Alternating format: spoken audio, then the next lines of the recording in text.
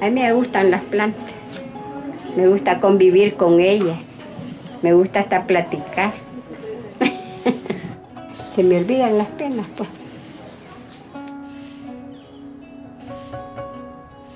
Yo siento tristeza de, de que mi hijo no, no sé dónde se encuentra. Yo siento una gran tristeza. Es mejor este, estar todos unidos, ver las niñas aquí sin su papá. Ella no lo conoció. Él cuando se fue me dijo, a los 12 días le hablo, mamá, me dijo. Y ya no me habló.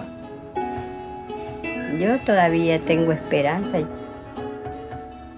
Esta es una de las tantas familias centroamericanas que no saben el paradero de sus hijos.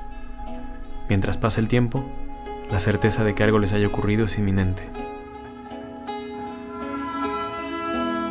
En el caso que se encuentre el cuerpo de algún desaparecido, el cónsul del Salvador en Chiapas ayuda a repatriar los restos de los migrantes que han muerto en México. Yo pienso que es un sueño, pero es un sueño eh, de terror, porque todo lo que pasan, independientemente que lleguen o no, es un sueño de terror, ¿verdad? Que convierte la vida de ellos y las nuestras en pesadillas.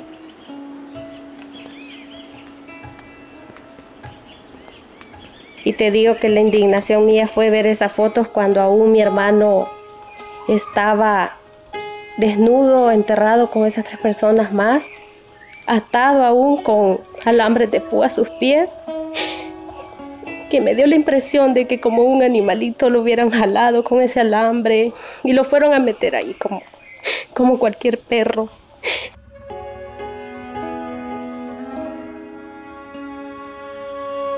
Sí te digo, es bastante duro ver que de, de qué manera pues tratan a nuestras personas, nuestros migrantes.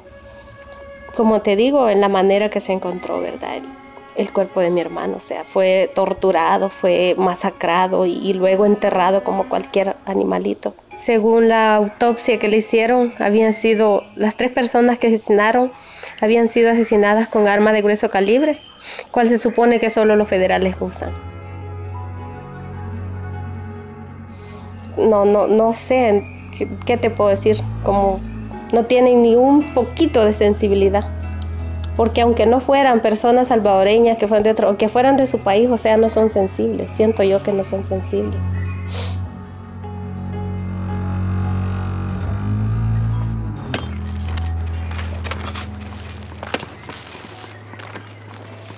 Ahí hay uno.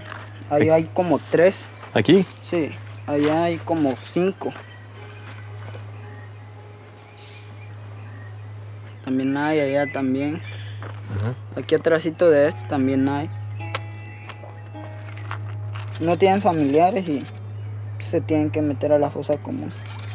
Aquí también. Aquí parece que hay también. Porque es allá al lado.